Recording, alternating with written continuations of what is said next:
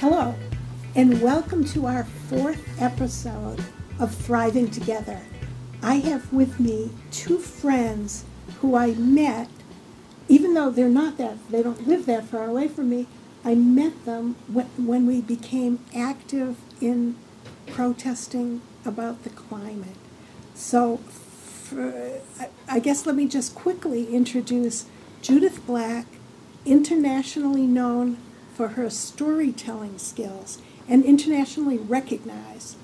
And on my right is Rob Bonney, author of Hide, and he'll he's going to tell you a little bit about that. So, I want to begin by asking why do we do this? Why do we do climate protests? Mm. So, Judith, tell us why you do climate protesting. I started reading a lot of climate science. This changes everything, the end of nature, um, all of E.O. Wilson, the sixth extinction, and it left me on the couch saying to my husband, honey, get me a catheter. I'm here for the duration, which turns out to be not as long as any of us had hoped. And, you know, once once you're there and you realize I could stay here in despair, but despair is no place to be. So the next place was action. And I've just had to basically change my entire life so that I was no longer a storyteller working in schools and institutions and was using my art to forward knowledge about what we've done to our climate and how what has to change. And also if you have children and grandchildren and you see how grim the future looks, you just feel you have to do as much as you can. Yeah. Thank you. And Rob, what about you? Why do you do climate protesting? Well, Judith and I did not rehearse uh, in advance, but my answer is very similar. Um, I was always, you know, respected. I always respected, you know, keeping our natural world beautiful and clean. But it was when I read Bill McKibben's uh, Global Warming's Terrifying New Math in Rolling Stone that I actually yeah. ended up also on the couch, like Judith, and thinking, how is this possible? You know, how did it get so bad and we didn't know about it? And it dawned on me that looks like it's up to us. You know, uh, it's mind boggling that our leaders have not led the charge on addressing a very serious problem. So uh, I wasn't happy on the couch. and so I actually found somewhere some wisdom that was action is the antidote to despair yeah. and anxiety. It's it can be scary, but it's better than doing nothing. Mm-hmm. And uh, so, yeah, I actually called up an organization that wanted people to participate you know, not just send them money. Right. And uh, he said, you know what, you should probably start the first Ohio Citizens Climate Lobby chapter. And I said, all right, I guess I will. So you were in Ohio? I was in Ohio at the time, yeah. And, uh, you know, it did, it did work. I mean, it, at times it's emotionally difficult, but it's very rewarding. You know, I get to know Carole and Judith and many other people. And this show is about thriving together. Mm. And this type of work, action, has brought us together. We feel like a community. We love each other. And you know what? When if I'm able to on my deathbed reflect on my life, I feel like I can mm. have peace and feel like I did my best. You know, I love my nieces and nephews, my brothers, my mom, and so I do this for them too, and, yeah. and the critters.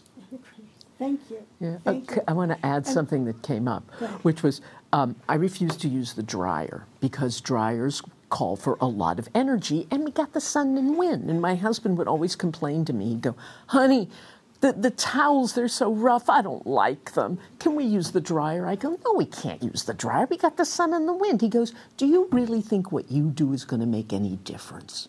Mm. And I thought about that. It was, it was like, Pow! and I said, I don't know but you have to live with yourself.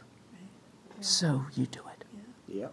So when I started, the first group that I protested with, well, not the first group ever, because I've protested with so many groups through the years, but for climate protest, I protested with no coal, no gas.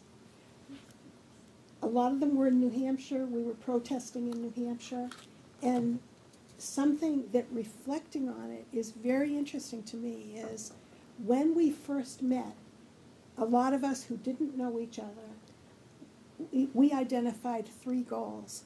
The third goal was to shut down the coal powered plant in New Hampshire. So this was in 2019, it was five years ago. That coal, that coal powered plant has just announced Yes. they're closing. So we've, we've, we've got success with that. Yeah. But our first goal, which I don't think I fully comprehended at the time, the first goal was to create community. Mm-hmm. And that was so important because that is what's kept me in this through the years. That so thriving together, whatever your goals, we thrive when we're working together. Can I add something local? Yeah. Um, so when I talked about the article, you know, that was a global story about the rising average temperature on Earth. Um, but here in Beverly, uh, just this winter, a lot of people may know, Lynch Park got seriously flooded. And there's actually a video um, that was done by a, someone that we all work with, Steve Andrada, about the flooding. And you can actually watch it. Uh, go to YouTube, and it's the Northeast of Boston uh, Environmental News. But the takeaways from this video were that the flooding is so frequent and so severe that they lost all the roses in the rose garden, gone, dug up. And the hundred year old trees are in danger from having their roots soaked in, in salt. And the, you know they're thinking about building a seawall so high that you can't sit on the lawn and see the sea.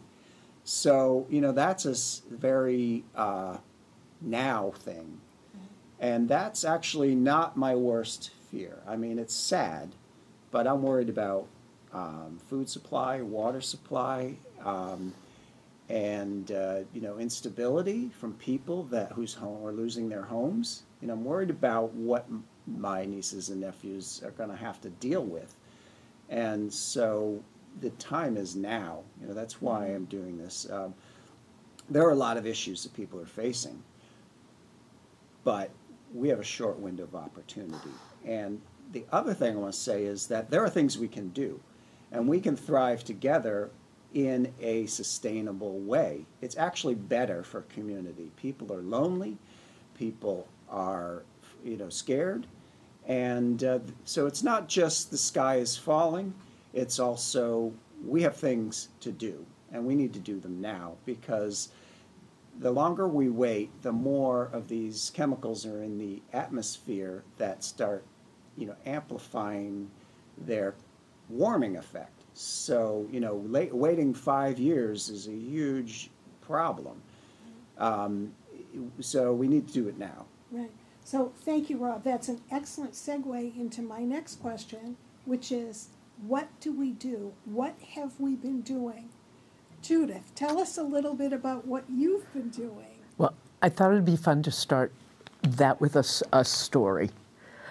Um, because when you mentioned building seawalls, so what happens when you build a seawall, guess what? All that water goes into the neighboring community. It changes the biodiversity of, of the water because it heats up certain waters. It, it requires what we call um, a huge carbon input because building those walls is expensive, requires a lot of energy and, and all this stuff. They're natural solutions, and everything is connected. The head man, when he was a boy, loved frogs. Oh, he climbed the tree with the tree frogs. He liked to get in the water and look at the little sedge frogs. At night, he'd hide behind a boulder and watch the Goliath frog come out of the water. Drawn by the heat of the boulder, it would grab its dinner. That was as a boy. As a man, my people, come, come. These frogs, they are making me crazy. I cannot sleep. Oh, blah, blah, blah, if I cannot sleep, I cannot think. If I cannot think, I cannot make good decisions. So I ask you, my people, please capture the frogs. I don't care what you do with them boil them, fry them, send them to your relatives in the city, fricassee, whatever. But please, finish the frogs. Well, a very old woman walked up to him and said, My son, do you not understand that the great creator has made everything for a purpose? Yes, baby. And this the, these frogs were created to make me crazy. and so the people, because they loved their headman, they did as he asked. They ate frogs for three days and three nights nonstop. And then on the fourth night, oh. And on the fifth night, mm. and on the sixth night, oh, oh, oh. My people, come. My people, look, I have these welts from mosquitoes I am scratching all night. And this time the people are much more empathetic because everyone is. We must capture all of these mosquitoes. We must get rid of them. But as you know, as you know, as you know, a mosquito only needs a half a teaspoon of water to replicate. And so, after a few weeks, the headman says, We will have to move. We will have to take everyone and find another place. And his people gathered up all they had, and they walked past the trees they had grown up with, the huts they lived in, the graves of their elders. The old woman sidled up to the head man. My son, do you understand now? Oh, yes, baby. Everything is connected. Mm. Thank you, Judah. Thank you. Judah. So, Rob, Right. what have you been doing? Yeah. Geez. Well, I retired um, about 10 years ago because I realized that my usefulness on Earth was most needed in on the climate stuff. So um, we're all doing it. We're not getting paid for any of it. Um, but you know what? It's my one life, and this is Yeah. what I feel that I should be doing. Um, and so I do a lot of what might sound not fun, which is working with elected officials. Citizens Climate Lobby, Citizens Climate Lobby North Shore, CCL North Shore. Uh, just if you put that together without any spaces, you'll find information about it. Um, we work with government. We work on policy, and it's actually quite rewarding, very educational, and affirming. Um, and probably the most important thing we need to do. You know, these days government is demonized. Um, we need government. And believe it or not, government is the most efficient way to deal with climate because they have the power to make the major changes quickly that we need to make. Um, you know, there's a lot of talk about um, things we can do personally, you know, which we all do because it it is healthy and You have to sane. live with yourself. and uh, and maybe it does have a collective impact. But really, what we need to do is be involved in groups that are pushing for big change. And CCL works on something called a carbon price, carbon pollution price, and it's basically you know incentivizing people that are powering their operations with clean energy. So um, I could go into that. We don't have time to go into that, but uh, it's uh, super important. There's a lot of other stuff that 350 Mass is doing, and uh, that's related to government. So I do want to tell one story also, which is that um, a few decades ago there was a huge problem with the ozone, and uh, it was such a severe problem that there was an international gathering and they said we have to ban these chemicals that are going up into the air, and you know, we're at serious risk of actually, literally, all dying um, because this protects us from radiation. And so it, they made an agreement, and Ronald Reagan, president, signed the agreement, and the countries abided by the agreement. And in recent years, the ozone hole has healed completely. And that's the kind of thing we need. We, then this is an emergency, and it needs big scale action. So that's why groups of people together. Um, and I have, we're going to talk later about how the viewers can do things. So I won't talk about that. Um, but the other thing that I did, and I don't have time for this, but I wrote a book, and uh, it's called Hide, and uh, by me, Robert John Bonney. and uh, you know, I think a lot of us that have been doing this climate work have, have said, ah, it's not happening fast enough. It's you know, we keep getting foiled. Um, what can we do? And we all have said to each other, we need to think creatively. We need to communicate. We need to reach people. We have to, uh, with storytelling, it has to be emotional, right? It has to connect with people about things they can relate to. So I put all that together to a book. It's about a 14 year old who disappears, and his parents are distraught. He's communicating with them, and they can't find him. And he is basically telling them they need to be activists. He's like, I'm not coming home until you, you know, take action. So uh, it was a great experience, um, and uh, it was good for me and for my mental health to work on a project and to do my best. And uh, so, yeah, that's I am working on a new book. Uh, it's not about climate, but uh, I, it is what I add to my mix of things I do to, for my well-being. Thank you, thank you. And I want to tell you how, when I first got involved with this, protesting the Bow coal-powered plant in Bow, New Hampshire, I protested there. I was arrested. I'd never been arrested in my life before, but I was arrested there. I, handcuffed, put in jail, was bailed out, and, and, and you know what? I really was proud to be arrested, working for something that matters so much to me. More recently, the, the three of us, with many others, have protested in parades, in wearing fabulous costumes.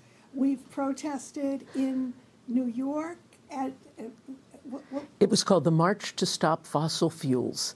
And they were organizing people from all over the country, and the goal was to march all the way to the United Nations before they opened for their climate talks. Yeah, it, it was fabulous. It was fabulous being there. Um, so, over these five years, and maybe a little bit more, we've we've protested in many ways. We've protested at some of the major banks because not because we have anything against banking. We need banking, but these particular banks provide so much money to the fossil fuel industry, and we needed to stop it. So we had a wonderful time with giant replicas of credit cards issued by these banks, Chase Bank and Bank of America. and Bank of America. And so we had this little skit that we sawed down through the middle of this giant credit card in front of the banks in Boston. Fabulous way to spend an afternoon, a sunny afternoon. Um, a, a lot of fun doing this. And tremendous feeling of community, working with people who feel the same way about these issues that, that we do. Yeah. And s- go ahead. Do you want to add? One Well, I was just going to say, and a lot of these come through this organization, which is fabulous because we do everything.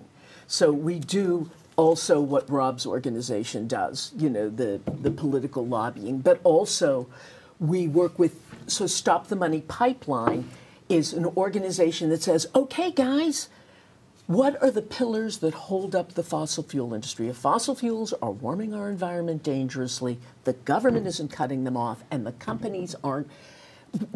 Why do we still have them? And we realize the banks, Chase, among others, has supplied over $900 billion since the Paris climate talks. So if the banks stopped funding it, if investment companies like BlackRock stopped saying, ooh, invest your money here, and if, play, if insurance companies like Liberty Mutual weren't insuring the safety of their pipelines, there wouldn't be an industry. So some smart organizations like Stop the Money Pipeline we work with, and they say, let's look at the source of that. Because you, you can get arrested at the gates of, of Chase, but you also could get people to simply divest and put their money where their values are in local banks. We also, so we do protests, we do nonviolent protests, we do civil disobedience, we do the lobbying, we do education, we do everything. Join us. Thank you. And so, if you're wondering, how can you join us? How, how do you even begin to get involved? There's a lot of different ways. Uh, I, I want to first mention a local group. Change is simple. Mm. Change is simple. They're, they show up at Lynch Park on that day during the summer when there's a lot of organizations there. Uh, and what, what else? What else can people do? How can, can people join us? Sure. So uh, there's uh, too many to list, and it can be overwhelming. And I don't want your viewers to think, "Oh my God." Um, so I picked two, okay. and one Tell is us. actually not really with these three organizations that we've been focusing on. And this, in my opinion, may be the most important thing people can do eh, this year, which is elections and voting. So you can do some things from your home if you're not really mobile. Um, you can do phone banking. You can uh, send messages. You can do postcards. Um, you can donate. And I would encourage people to look at the platform that these candidates have and make sure that uh, assertively, quickly working on climate with a focus on community and health is at the mm-hmm. very top. And this is going, we have a presidential election. Look at the candidates.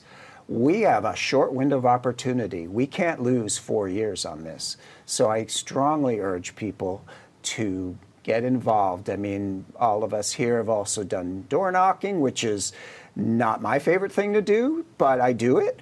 Um, but there's also, you know, joining a campaign, looking up a candidate, say, hey, I want to help you. Um, the other thing is to join a group um, because for all the reasons we've been talking about today, um, but also because it is sort of the only way that I know what's going on. Now, we're all self taught, mm-hmm. and uh, we teach each other. We um, share, you know, what we're going through, uh, figure out what to do, and as you said, we have a lot of fun. I mean, sometimes it's not fun and it's sad, but we bond over that too, um, and we focus on solutions. Right? We talk about what we want to do, what we see the world that we want to build is, and build it together. And and what's the name of the group? Isn't there a group specifically for? I'm going to say retired yeah. people or yes, seniors. Yes, there's two of them. Yes. There's seniors, senior climate. Uh, Elders Sen- Climate Elders Action. Climate Action, and there's both a national and a Massachusetts group, and the um, the H. Their website will come up, and the other one is Third Act, started Third by Act. Bill McKibben. Right who is the person who wrote The End of Nature, the book you wrote, the, the article you read, the man who has inspired so many of us. And it's basically for those of us between retirement and death to say that you can still be active. And they were pivotal on the Chase Bank um, protest that you were talking about. And they've been incredibly good partners. And you also have Green Beverly if you want to work on things locally. Because, yes, behavior change is one piece of it because you have to live with yourself. And there, mm-hmm. and the one thing people never mention, and the most important behavior change is called conservation. Because you can change over your energy systems, which is great. Get rid of your fossil fuel furnace. Put in air source heat pumps. Put you know solar on your roof. Do you know g- trade in your clunker and use mass transit, you know, or an electric bike or an electric car if you have to have one. But and these are all im- important, but the most important thing you can do is use less, which as Americans we don't think about very often. And that can be as simple as turn your clothes washer on before you go to sleep instead of at four in the afternoon. Think about your energy use. Cut back on it. We, you, everything you want, you don't need. And I want to add, you know, because we're talking about groups and these groups here that we've mentioned, is that um, we need most people to be doing these things, or at least a, a, a certain percentage of people to be doing these things. So our groups do educating of the community, and we say, hey, yeah, try this, do that. So that's another reason to join groups. So it isn't just you doing it by yourself, it's multiplying your effectiveness. Yeah. And I want to mention also something which I believe is been an intentional campaign by the powers that be. Uh, corporations to get us to keep buying more stuff than we need, which is to say, yeah, yeah, you know, you know, think about yourself and what you're doing. And they don't really want us to get organized and pressure corporations to do their business differently. And that's what we need to do. That's another reason why we need these organizations because uh, it's a it's a big task. Yeah. So I, I don't know if we have time to hold these up one more time. Maybe Oh, and we I have one more initiative on it. So, corporate responsibility, make polluters pay, is a bill that's coming to our legislature. Let them pay for the damage they've done. And the other big thing is using the land we have not as dirt, but as earth. Regenerative agriculture, getting churches and synagogues to dig it up and put in land, naturalize it or put in good, healthy food, but change the way we, we relate to the earth. Thank you for tuning in to the fourth episode of Thriving Together. We've enjoyed telling you about why we do climate protest, what we do, and what you can do to join us. Thank you very much. Thanks for having us. You're welcome.